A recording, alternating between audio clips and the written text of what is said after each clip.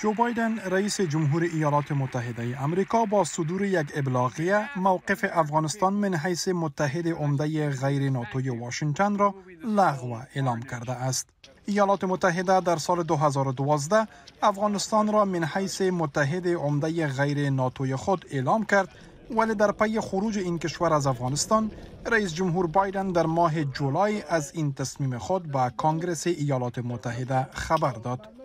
این اقدام در حال صورت گرفته است که در طول یک سال گذشته نگرانی ها پیرامون فعالیت های تروریستی در افغانستان افزایش روزافزون داشته است. در تازه ترین مورد شهباز شریف صدر اعظم پاکستان روز جمعه در سخنرانی خود به مجمع عمومی سازمان ملل متحد گفت که اسلام آباد نسبت به تهدیدهای ناشی از فعالیت‌های تروریستی در افغانستان نگران است. پاکستان با جامعه جهانی در این نگرانی شریک است که گروه های بزرگ حراس افغان مانند شاخه خراسان داعش، تحریک طالبان پاکستان، القاعده، جنبش اسلامی شرق ترکستان و جنبش اسلامی ازبکستان در افغانستان فعالیت دارند. صدر پاکستان همچنان در یک مصاحبه با خبرگزاری اسوسییتد پرس پیرامون به رسمیت شناخته شدن حکومت طالبان و چگونگی تعامل ایالات متحده در قبال افغانستان چونین گفته است.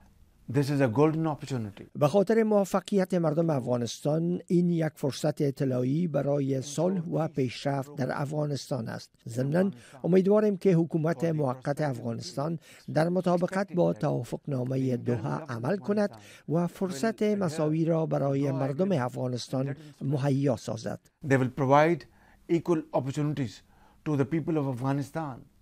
صدر پاکستان در حال از فعالیت های تروریستی در افغانستان ابراز نگرانی کرده است که امیرخان متقی سرپرست وزارت خارجه حکومت طالبان روز شنبه بدون ذکر نام کشور مشخص گفت برخی از حلقات مغرض و ادارات استخباراتی تلاش دارند که افغانستان را من حیث مرکز تروریسم در جهان معرفی کنند. استخباراتی زواک بدل سی.